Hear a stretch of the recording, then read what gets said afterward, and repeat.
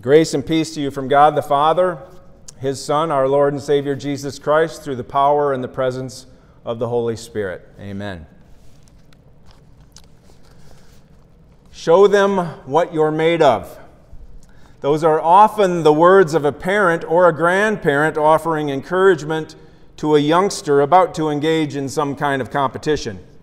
Too often, what we are made of is revealed to us at a very young age by others who are also at a very young age.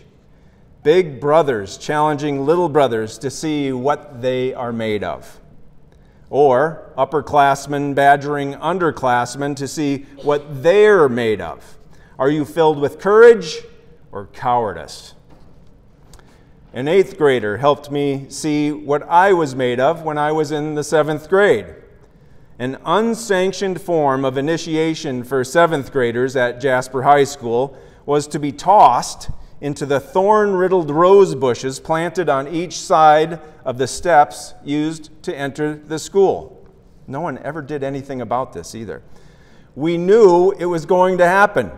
There wasn't any way that you could avoid it. You might temporarily delay the thorn toss if you could outmaneuver those predators, but in time, there was a good chance you would be pierced by those natural needles, courtesy of someone stronger, taller, and usually more determined than you. A few days into the new school year, the 322 dismissal bell rang. School was over. I hightailed it to the south exit, the one with the roses adorning each side of those concrete steps. I was confronted by an eighth grader who appeared to have about 30 pounds on me and seemed to be about a foot taller. I felt like a young African wildebeest that became separated from the protective herd. There was no chance of escape. All I could do was grab one of the two iron railings that, anchor, that were anchored in the steps. In a rare feat of strength and bravery, I showed Todd, the eighth grader, what I was made of. Although I was outmuscled by this farm boy, I refused to let go, and he eventually gave up. I never was impaled by those bushes. Even seventh graders need a victory once in a while. God wanted Ezekiel to show the children of Israel what he, God, was made of. And like usual, God gave the assignment to a reluctant prophet. He almost always does. God shows himself, at least an image of himself, to Ezekiel. And this description in chapter 1 is unlike anything we would think God might look like. Here are some of the terms that are used he describes him as a whirlwind, a great cloud, a raging fire, the likeness of four living creatures with four faces and four wings, burning coals, all the while moving on a wheel that's inside a wheel. I prefer Michelangelo's depiction of God as he painted him in the 16th century on the ceiling of the Sistine Chapel. That shows God leaning toward a laid back Adam index finger reaching index finger but not touching. God was gray haired and very muscular. Adam was reclined as though he was waiting for God to do something for him. It's a far cry from the image described in Ezekiel chapter 1. Now, Ezekiel sees this image of God and he falls on his face. And God says, Son of man, I'm sending you to a rebellious nation. My people have become obstinate and they are stubborn. You will go and you will say, This is what the sovereign Lord says. God tells Ezekiel to speak the word of the Lord. And whether they hear the word or refuse the word, they will know that a prophet has been among them. He tells him, Don't be afraid of them. Don't be afraid of their words. Don't even be afraid of the look on their faces. And then in chapter 3, God tells him to eat a scroll filled with God's word. Fill your belly with it, he says, and speak my words, telling him, What you're made of, Ezekiel, is the word. What you're made of is the instruction from me, the God of all creation. Ezekiel would spend his lifetime showing what he was made of. He was made of tenacity, bravery, and purpose, all provided by God, all necessary to be a prophet of God. Have you eaten a scroll lately? Have you eaten a page of your Bible lately? Very unlikely. We are told that we are what we eat, sort of. Actually, elementally, 90, 99% of what we are is made up of oxygen, carbon, hydrogen, and nitrogen. But we are much more than the elements that make up our physical body. We are soul and spirit. We are mind and body. Oftentimes, it's the body part of our life that keeps us humble and dependent on God. And that was the case for the Apostle Paul he knew that he had to keep his pride in check. Paul had a, a vision similar to Ezekiel's, but his vision, Paul's, was of heaven. He heard and saw things he couldn't describe or express. He couldn't put words to his experience. And he cries out to God about this thorn in his flesh. And Paul pleaded three times for it to be removed, and God refused.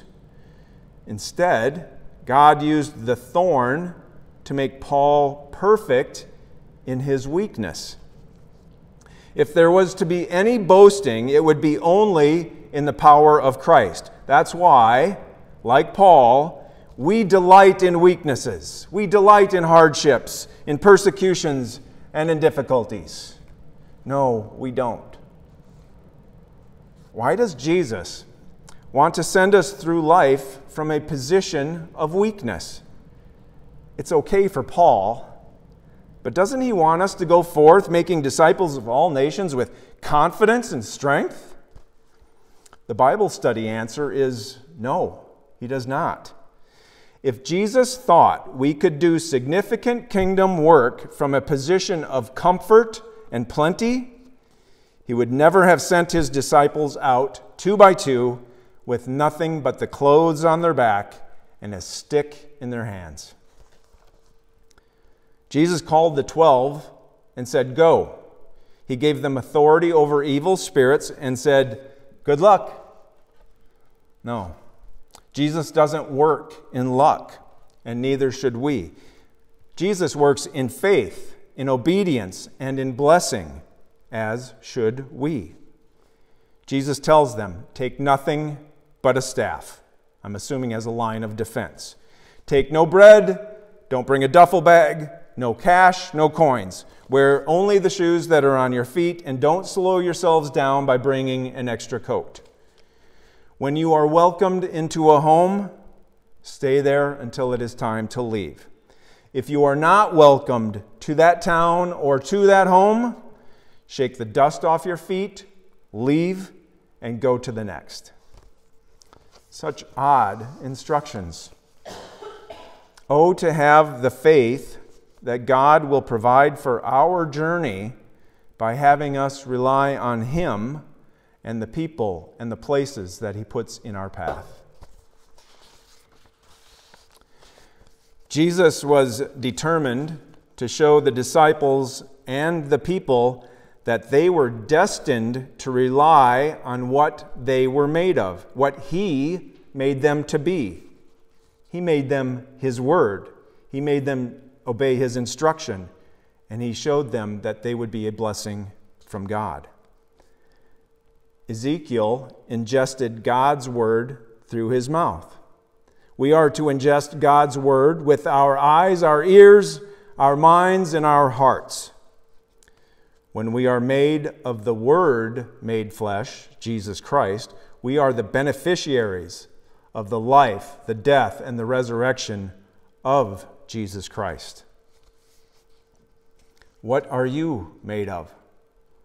As a follower of Jesus Christ, you are no longer just oxygen, carbon, hydrogen, and nitrogen. Some scientists believe those elements were created during a big bang or from inside the star billions and billions of years ago. You were not. you were created by God, planned for eternity, then because of the fall, you were destined for hell. Destined for hell because of your inherent sin.